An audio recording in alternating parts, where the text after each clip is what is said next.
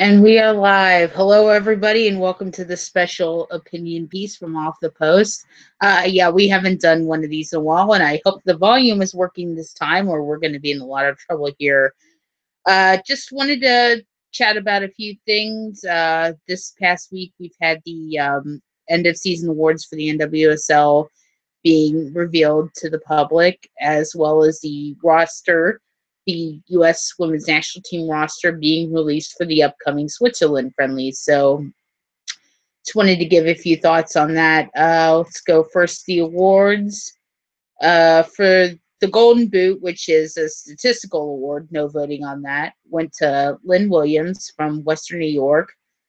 Go, Lynn. Um, she t- actually tied with uh, Kealia Ohai from Houston with 11 goals, but she was uh, given the award because she had five assists uh, over uh, Ohai's four. So had to break the ties. First time in league history we've had two players tie for the league for the uh, top score in the league. So had to go to the tiebreaker, which is assists. So well done, Lynn Williams. Um, we have the rookie of the year this year. Went to Raquel Rodriguez. The final final from Sky Blue. The finalists were her Rachel Daly from Houston and Emily Sonnett from Portland. Uh, yeah, not really a great year for rookies, actually. Bit of a step down, I think, from last season. Um, and it, and as many people said, it was kind of bit of a weak draft class. So I'm not sure she had what could be considered actually a true, really super standout season. I think she started kind of slow. But you know emily sonnett did miss some games for being an alternate for the olympics and rachel daly was kind of hot and cold. She had some good moments. She had some was went kind of quiet when they had that houston had that six game scoreless run. So of those three i guess you could say that rocky was the most deserving but yeah overall not the greatest uh, showings for rookies this season next year's supposed to be really loaded draft class, so hopefully we get to see a bit more from the rookies next season. We'll see. Um, we have Coach of the Year finalists were Mark Parsons from Portland, uh, Jim Gabarra from Wa- from Washington, and Paul Riley from Western New York. The award went to Mark Parsons. Uh, saw some people saying that maybe he shouldn't have won because Portland had such a stacked roster that maybe it should have gone to Jim Gabarra or even Paul Riley. Um, as much as I would have liked to see Paul Riley win, again, I am a Flash fan and I like to see my team win as much as possible. But you know, Parsons did what he had, what he was set out to do. Yes, he had a very stacked roster, but he also had some games where he had a very depleted roster, and he still got some results during those games. So, and they won the Shield. You know, they finished top of the league. Again, you could say, yes, he had a stacked roster, but he did what I think um, Paul Riley, again, and um, Cindy Parlow Cone before Riley couldn't do, and that was actually really get this team working together, getting all of those egos. I hate to say it, but when you have a team of stars, there are going to be egos involved. So getting them all to work together to accomplish that goal of winning the Shield and getting a home playoff game for Portland in front of that really great crowd that I hope one day can spread to every team in the league, but that's a OP for another time. So kudos to you, Mark Parsons. Well done. I think you were probably were the best choice. You know, for the argument to say, but he lost in the semifinal. Voting was done before the semifinal, so that had absolutely no bearing on whether or not he should have won. So that's that. Uh, we have Defender of the Year. For the first time in league history, it did not go to Becky Sauerbrunn. Uh, went to Lauren Barnes in Seattle Reign. Um, yeah, if it were last season, I probably would totally 100% agree with this one. I think she had a much better year last year. I thought she started off a bit rough this year. Didn't really play up to the same level that she had in 2015. You maybe maybe it should have gone to somebody like Arin Gilliland. I still can't believe Casey Short wasn't one of the finalists, but yeah, that's nothing we fans can do about that. We don't decide who gets onto the short list. Um, so, you know, I thought maybe it should have gone to Arin Gilliland or maybe even Emily Menges. Again, I think Emily Menges was the one I voted for. So, you know, I mean, again, it is what it is. Um, she's she had a good season. It wasn't as great as it was in 2015, but it was still pretty good. So, you know, don't have too many arguments against her, but yeah, like like I said, it is what it is. So, congrats, Lauren. Um, goalkeeper of the year. Uh, finalists were Ashlyn Harris from Orlando, Alyssa Naeher from Chicago, and last year's winner, Michelle Betos from Portland. Uh, the award went to Ashlyn Harris. Kind of a head scratcher. Not that Ashlyn Harris was bad per se, but I think if you look at um, overall performance, yes, Orlando didn't have the greatest of back lines at times, especially towards the end. But I think, I think overall, Naeher did have a better season and not totally 100% sold on Betos. I still think she probably won last year because of that goal. So, yeah, this one is I I don't agree with it. I'm just I'm I my opinion, I'm not sold on Ashlyn Harris as being this tremendous goalkeeper. She's good. She has a lot of talent, but I think sometimes she makes these saves that are they look more flashy than they should. And I think part of that is because she is caught out of position and has to be a bit more acrobatic to make the save that another keeper would probably make easier and not look as flashy. So, you know, I'm not hating on Ashlyn Harris. I think she's talented. I think she could probably start for any national team, any other national team in the world, except maybe one or two. Um, just not my cup of tea, not my cup of tea. What I would want for my club or country, but she's I she's good, just not not for me. So just my opinion. Don't blame me. Don't send me hate mail or anything like that. So just my opinion. So yeah, let's move on. Uh, final award, individual, one person award. We had the most valuable player. Uh, finalists were Tobin Heath and Allie Long, both from Portland. Uh, Christen Press from Chicago, Kealia Ohai from Houston, and Lynn Williams from Western New York. Um, ended up going to Lynn Williams what do I think about that one? Um, hmm. Yeah, if Tobin Heath had ended up winning this award, uh, I would not have complained because yes, she missed a few games for the Olympics, but when she was there, she still played pretty well. At times, I think she actually carried Portland in some of their some of the performances where they weren't that impressive. So and and she set the league assist record. So, you know, if if the voters had decided that Tobin Heath instead of Lynn Williams would be a more suitable choice, I don't think too many people would have complained about that.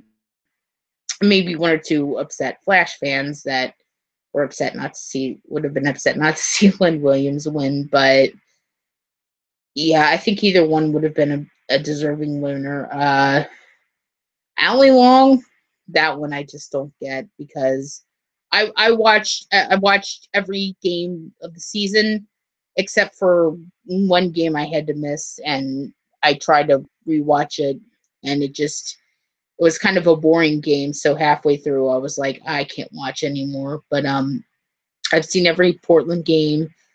I just, it was just before the Olympics. She didn't really do much of anything. She's just kind of there, basically taking up oxygen on the field. And yes, she did start scoring after the Olympics, but at least one of those was offside in that last game against Sky Blue. She was a, a yard or two offside. So, and a couple other ones where it kind of just fell to her, and then she just tapped happened to be there and tapped it in. So, yeah, she did start scoring, but other than that, she didn't really do a whole lot. I didn't certainly didn't see anything in her play that was um, MVP worthy. You know, when when I did notice her, she wasn't bad, but it wasn't something that stepped off that stepped out to me to say, "Oh, she's so great. She deserves to be the MVP." Whatever. Um, Christen Press, maybe a little bit more of an argument for her than Long. Um, yeah, a little bit to the test. I, I, a little bit to testament of how kind of down some of the overall performances what were was because I can speak. Um, I think maybe that spot could have been taken by somebody like Nadim, who did score a lot of goals for Portland. I, I believe she was the leading scorer.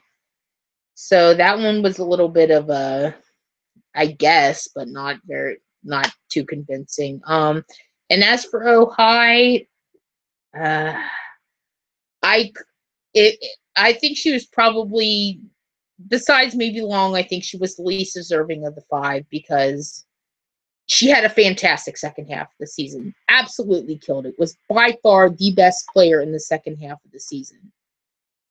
But you can't award a seasonal award for somebody who does nothing for half a season. I mean, what did she do before she scored her first goal? Nothing, except maybe get off uh, get called offside a few dozen times.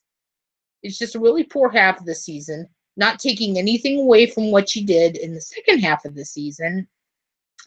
But it's you got to show up for an entire season maybe have one or two games where you're not at your best, but it I, I think it would have been bad if she had won based on half of the season.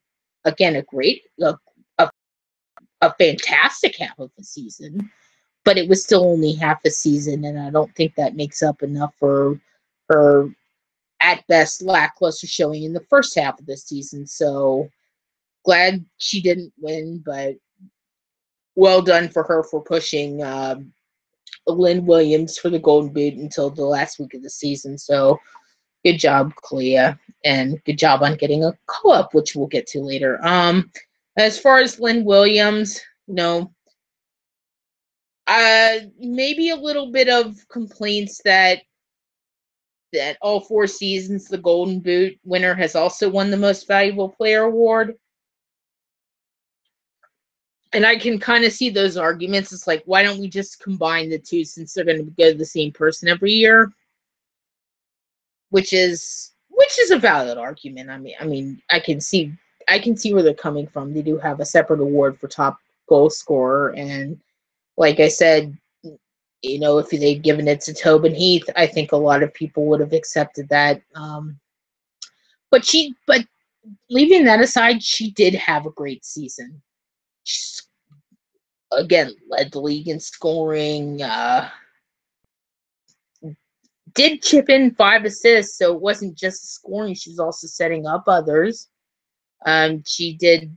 If if you watch her play, she does stuff off the ball. That's it's not just standing near the 18 and waiting for balls to come in. She does do a lot of work to set others up, as well as uh, actually scoring. So I think it's a little short-sighted to to say that all she does is score goals when she does do a lot more for the Flash. So, yeah, that's pretty much all I got for that. Um, And we have the uh, t- just announced today the best 11 and the second best 11. Uh, best 11 was Ashlyn Harris as goalkeeper. Uh, defenders Lauren Barnes, Arin Gilliland, Emily Menges, Becky Sauerbrunn. Midfielders Tobin Heath, Allie Long. And forwards Jess McDonald, Kealia Ohai, Christen Press, and Lynn Williams. Not too many surprises there. Um, second 11, uh, goalkeeper Alyssa Naeher, defenders Julie Johnston, Ali Krieger, Christy Rampone, Casey Short. Midfielders Danielle Colaprico, Vanessa DiBernardo, Jess Fishlock, Kim Little, and forwards Crystal Dunn and Shea Groom. Don't have a tremendous amount of complaints for this um, for these best and second eleven. Um, I thought maybe I would have switched um, either Danielle Colaprico or Vanessa DiBernardo in place of Allie Long. Again, don't think Allie Long had that good of a season to be in the best 11, but what do I know? I'm just one person. Um, the other ones, um, Crystal Dunn, yeah, she played really well, but I probably would have maybe put in Nadia Nadim in place of her. Don't know if Crystal Dunn got it because she's more known among the more casual fans than Nadia Nadim, or if the players maybe thought she was more deserving. I don't know, but in my personal opinion, I probably would have left Crystal Dunn out and gone with uh, Nadia Nadim. Um, the other one, a little bit controversial. Not quite sure I would have had Jess Fishlock in either best 11 or second 11. Again, not that she was terrible, but I thought there were so many games. I think maybe she rushed back from her injury, and there were some games where she just did not look like herself. She didn't look like the player that had done so well for Seattle the last three seasons. I probably would have taken her out and put in Kristen Edmonds instead. I think Edmonds was far and away the Pride's best player this season. Scored a lot of goals, had some really good balls up to others for goals. Um, I think it's a shame that she kind of got overlooked. So, not too many other complaints. Um, is for anybody wondering why Ashlyn Harris was put in as the best 11 goalkeeper?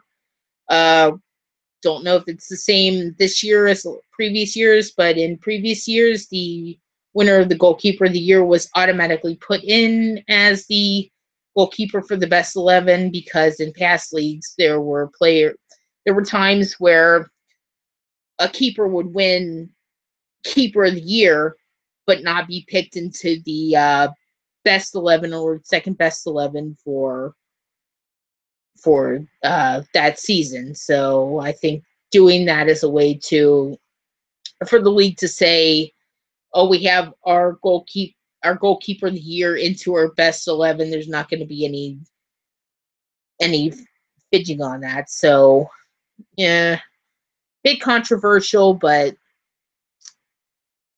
again, it's their rules and I don't make them. So those were the uh, end of season awards. Uh, let us know what you think about them. Uh, drop us a line at Twitter at WoSo off the post and tell us who you would have picked for your uh, award winner. So that's that. Um, turning now to the latest roster. Let me see if I can bring it up here real quick. Uh, Yes, yes, yesterday, besides the MVP of the league being announced, uh, it was also revealed to the public. Players knew, well, players do know well in advance of these uh, public releases if they're going to be on a particular roster or not. Excuse me. Um, so, in this latest roster, we have 24 players we have 11 players who have never been, yeah, is it one, two? Yeah, we have 11 players that have yet to be capped for the national team. although some of them have been called into camps in the past, they never uh, got to see any playing time. So that's probably the least experienced roster we've had in, I don't know, maybe 10 years. It's definitely been a while since we've seen a roster this low on overall experience. We have some experienced players, but a lot of players who haven't haven't even hit 50 caps yet, much less even have one. So so for this upcoming roster, we have at goalkeeper Jane Campbell from Stanford, Ashlyn Harris from the Pride, Alyssa Naeher from the Red Stars. At defender, we have Abby Dahlkemper from the Flash, Arin Gilliland also from the Red Stars, Merritt Mathias from the Reign, Kelly O'Hara, Sky Blue, Becky Sauerbrunn from Kansas City, Casey Short from Red Stars, Emily Sonnett from Portland. In the midfield, we have Morgan Brian from Houston, Danielle Colaprico from the Red Stars, Tobin Heath and Lindsey Horan, both from the Thorns, Carli Lloyd from Houston, Allie Long from the Thorns, Sam Mewis from the Flash, and Andi Sullivan from Stanford. And at forward, we have Crystal Dunn from the Spirit, Shea Groom from Kansas City. Bit of a surprise, we have Ashley Hatch from Brigham Young University, BYU for short. uh, Kealia Ohai from the Dash, Christen Press from the Red Stars, and he recently named MVP Lynn Williams from Western New York. Um, quick thoughts on this roster we are finally getting some a lot of young, fresh talent in, and I love it. this is something that I think a lot of fans have been wanting to see for so long. To see brand new players being brought in, players that have generally done well at the end in the NWSL at the college level and are being not so much rewarded, but I think brought up to the next level by Jill Ellis to see what they can do uh, compared to some compared to players who are established internationally. So that part is great. You may notice that there are a few names that are missing. We'll get to that in just a second. Um, again, I, I do like a lot of these players kind of scratching my head a little bit on Mara Mathias because she's listed as a defender, and when she played as a defender for Seattle, I was not impressed. Didn't think she was particularly adept at defending. Didn't think she had. Don't think she has the speed to really match up with some of the better forwards on the international scene. Forwards that are not only technical but are really fast. Uh, Switzerland does have a couple of those. I don't know. Uh, the Switzerland roster hasn't been revealed yet, so I don't know who all they're bringing. But if they bring some of the names that I'm expecting, it could be quite a challenge for her. Um,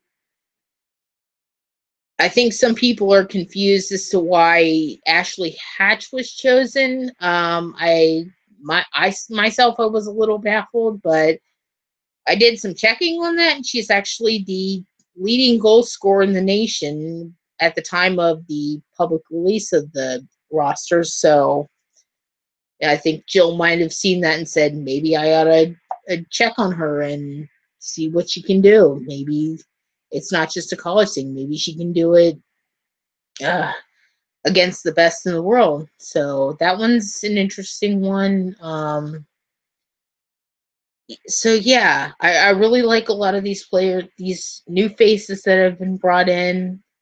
A couple of them make me nervous, but we'll see how they do internationally if they get into a game. So, um, it base she's called in 24, but only 18 are going to dress for every game. And while we definitely will see some new faces, it could go anywhere from a couple of players to every new player getting at least some time on. I don't know. It'll be interesting to watch. I'm really looking forward to these games.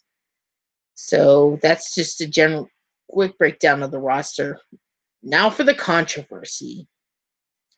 There has been a serious outcry from a lot of fans online about certain players being left off the roster. Despite Jill Ellis stating up front and in that email that was leaked out to the public, she told the players that there might be cap- camps where they are not getting called into so she can bring in other players and see what some other players can do. Um, it, the the obvious big big name being meant being uh, um, omitted from this roster is Alex Morgan. I don't think Alex Morgan's spot is in danger at all at this time. She is, you know, whether or not you agree with it, she is the face of U.S. soccer. She is the biggest reason why there are so many young kids that go to these games. She is a massive draw. And besides that, throwing all that aside, even if she wasn't a massive draw, she is a very damn good soccer player. She is fantastic. She scored a lot of clutch goals, both for well, not not so much for club this year, but she is, I believe, tied for the leading goal scorer internationally this year with Carli Lloyd. So she's given Ellis has given Alex Morgan a bit of a break, letting her rest, letting her recover from the long grind of the season and uh, and the Olympics and all that. Don't freak out. She's not going anywhere. She's safe for now. That could change in the future, but for now, I would not be the least bit surprised if there were uh, there's rumors of some friendlies next week, ne- next week, next month. Nothing's been said on that yet, so we'll see. She she'll I I would bet money if I were a betting person that she would be called back into those friendlies. So everybody needs to calm down. Everybody needs to relax. Alex Morgan is not being cut just because she's not on this particular roster. So take a breath. Um, some other notable names being left out. I mean, we all know the story about Hope Solo. She's suspended. They Jill Ellis can't call her in even if she wanted to, and she just had surgery. So even if Ellis wanted to call her in and she wasn't suspended, it's she wouldn't been able to. She it would just yeah. I I right now, I think we'll probably have maybe unfortunately seen the last of Hope Solo in the U.S. Uh, playing for the U.S. I don't know if that'll change. I don't know what you know, the plans are. I just think right now with the focus towards going to to a more younger roster, we probably have seen the last. But that could change next year. Who knows? We'll stay tuned. Um, other names, uh, we got from the from the midfield, we got Megan Rapinoe being left off, and from the defense, we have Julie Johnston, Megan Klingenberg, and Ali Krieger. I know a lot of fans are upset that Ali Krieger was left off. I know fans are upset that Julie Johnston was left off some, maybe not as many that Megan Klingenberg was left off, and Megan Rapinoe is a divisive figure, so it's more down the line for that one. So, yeah, my thoughts on that. Um, ugh, this could potentially be the beginning of the end of Ali Krieger's tenure on the national team. I mean, I certainly don't don't hope that's the case. I like Ali Krieger. I think she has a lot to offer this team. She's experienced. She's a very reliable defender. Very rarely do you see a mistake from Ali Krieger. So, you know, she may not be exactly what Jill Ellis wants, but I think she does still have a role to play, even if it's not a starting role. I think she could still add a lot to this team. So I really hope this is not the end of Ali Krieger. Um, Julie Johnston has not been at the same level this season, this season, this year as she was last year. Uh, I've heard mention from uh, the Chicago coach Rory Dames that maybe she's nursing a bit of an injury, and this is probably just to give her a rest. I don't think she's going anywhere in at, at, in the near future. She's still young, still has a couple of things she might need to work on um, in order to be, you know, a true, really complete center back like we see from a Becky Sauerbrunn, who was just even though she didn't get off to the greatest start this year, is still probably the best, one of the best, if not the best center backs in the world. So don't think Julie Johnston's going anywhere. Meghan Klingenberg, I know Ellis loves her. I know Kling is exactly what Ellis wants to see in an outside back. But uh, in my personal opinion, I'm hoping this mean, start means the start of the end for Meghan Klingenberg because I don't know if it's she's believing her own hype from the World Cup. I don't know if she's just having a poor season, but she has been at best mediocre. At worst, she's killing this team. It's just it's just painful to see her continue to push up and push up and push up and keep getting burned because she doesn't have the speed to uh, get back in a hurry when she's so far up the field. I mean, you watch the semifinal when uh, she did that throw in that Sam Mewis uh, picked off, the play that led to Lynn Williams' second goal. And Meghan Klingenberg was uh, trying her best, but the fact that she couldn't keep pace with a with a, a player like Sam Mewis, who is not slow, but she's not super fast and she was dribbling with the ball. And the fact that Meghan Klingenberg could not keep up with her is not a good sign. She's slow. She cannot get back in, in, in time to cut off these counterattacks when she keeps pushing so far up. There's there's no balance with Kling. It's basically get forward all the time. Who cares if I can't get back because someone's going to be covering my mistakes? And that just is not gonna that I just I don't like it.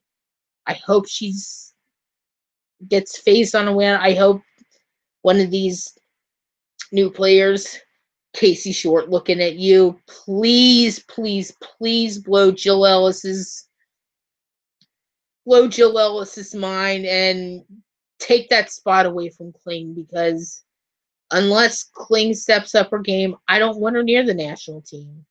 I think she's killing it. So maybe this will be a shot to get her act together and figure things out, but we'll see. I mean, you know, Jill does love Kling, so we'll see what happens with that. Uh, as far as the Rapinoe leaving off, um, yeah.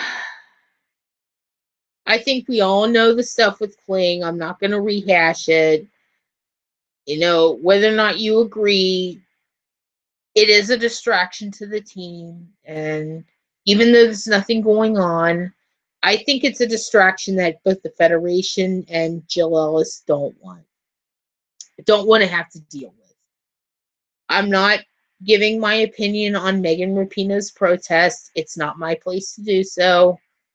Uh, so it's just I think I think Rapinoe has pretty much decided that I'm going to keep doing this. If it means the end of my career, so be it. So, you may, maybe something will change with that. I don't know. And I'm not here to pass judgment on what she's doing. I'm not here to say, oh, she's wrong for doing that or oh, she's right for doing that. Again, not my place to do so because, you know, I'm just one person, and while I have an opinion, I'm yeah, I'm not touching that one. And if anybody asks, you'll also say, well, she's recovering from still trying to get back to full fitness. We thought it would be best to give her the time to get back into full speed. So we decided to leave her off and we we may call her into the next one. So I don't know if anybody's going to ask for that because of U.S. soccer's history of not not allowing questions like that to be asked. But that's topic for another day. So again, I just want to say it. Just because a player you like was not on this particular roster, it does not mean that they are off the team for good. It just means that Ellis is trying out some new things and doesn't want to bring in 30 or 40 players to a, a camp for two games. So relax, breathe, and think positive. Because I mean, I honestly I can point to two or three players that probably won't be on this next roster. I mean, who knows? Next time we could see Carli Lloyd not getting called up. She's mentioned that she's getting married in November, and with two rumored friendlies in November, I wouldn't be surprised not to see her on this roster. I wouldn't be surprised if Jill Ellis says, Thanks, Tobin, but we're going to give you a break for this. You've been going long. We're going to give you a break for this one. We're going to see what this player does. Uh, Christen, you've been playing a long season. You know, we're going to bring bring in Alex to work with this group of players and see how she does with them. Doesn't mean they're off the team. You know, Carli Lloyd's the captain. I she might miss a camp or two, but I think her spot is safe for now. If she falls off, Jill Ellis will probably her. I don't know. We'll see. We'll see what happens. I think next next call of camp after this is going to be fairly interesting. See if any new faces can get called in. Um, one last quick point about the roster.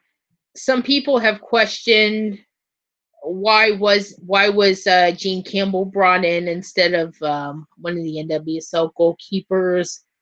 Why don't we have more players from the NWSL called in? Uh, fairly simple explanation. If you read some of the uh, legal documents that have been released because of the two lawsuits.